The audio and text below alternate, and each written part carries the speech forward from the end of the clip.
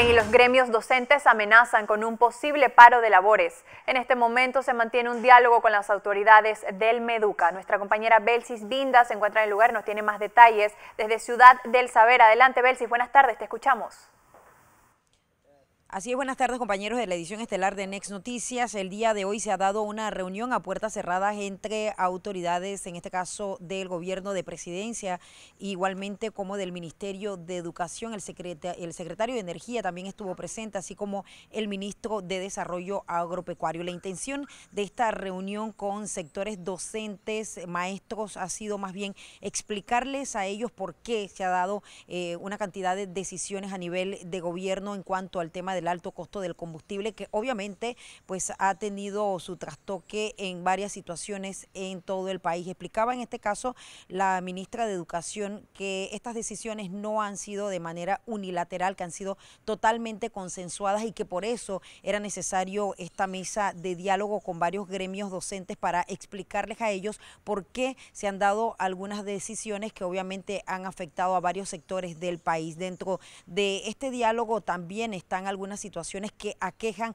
a gremios docentes, donde ellos han manifestado pues varias intenciones, dentro de ellas está la posibilidad de un llamado a paro de labores en los próximos días o posiblemente en las próximas horas ante esta posible intención de parte de los docentes. La ministra ha manifestado de que definitivamente no se pueden detener las clases en este momento. Vamos a escuchar brevemente parte de lo que dijo la ministra de Educación referente a este tema y a este conversatorio que se tiene el día de hoy Ciudad del Saber.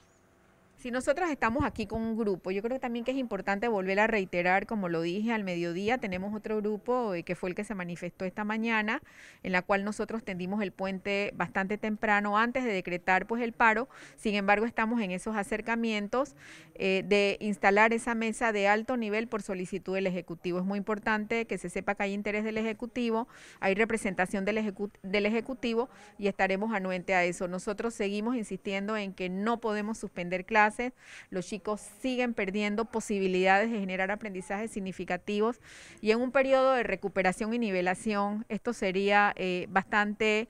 Eh, bastante lesivo exactamente para ese aprendizaje que queremos lograr y, y esa brecha que queremos cerrar educativa. Sí, aquí hay uno de los sectores, sin embargo, son varios gremios. Nosotros tenemos alrededor de siete gremios, eh, de siete sectores representados, que representan alrededor de 22 o 23 gremios.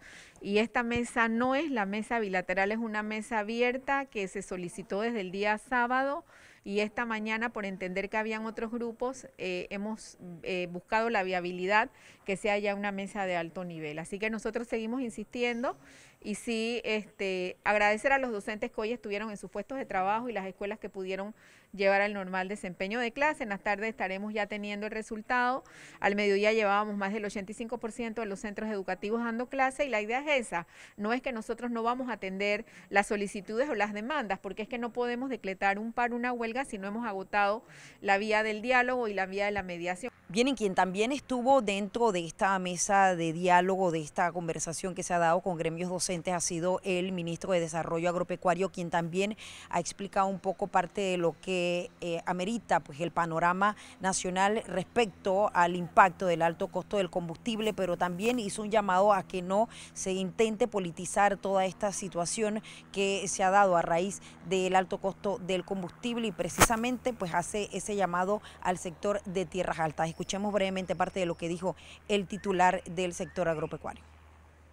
Tenemos que seguir haciendo esfuerzo, entonces le hemos dicho que nos sentemos. El, viceministro Montilla inventó, invitó a los gremios a que se sienten en la mesa de, inflación para que vean hagamos los esfuerzos y busquemos. Lo que no puede ser que nos pase lo de Ecuador. 20 días cerrado un país, todas las calles, con muerte, pérdida de vehículos, incendios. ¿A quién beneficia? A nadie. ¿A quién perjudica? A los más pobres. Entonces creo que mientras mantengamos el diálogo y lo otro que yo he señalado, no adelantemos las elecciones del 24 logremos un país unido donde solamente la bandera panameña sea la que eh, eh, brille por encima de cualquier bandera, de cualquier situación, y consigamos entonces el 24 que cada uno vote por el que quiere, pero mantener un país en paz, en progreso y ir la forma de recuperar. No sabemos qué va a pasar. Mañana se puede agravar aún más la guerra. ¿Qué estabiliza?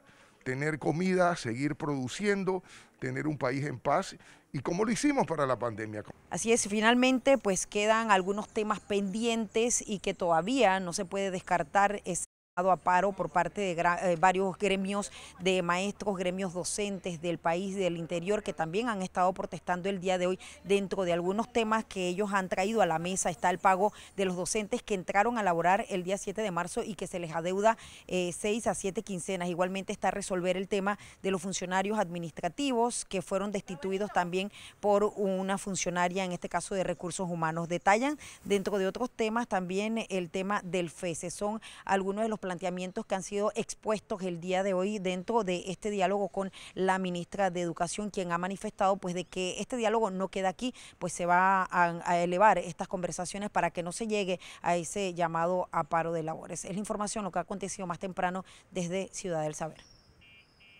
Muchísimas gracias, Belsi. Muy completo tu reporte.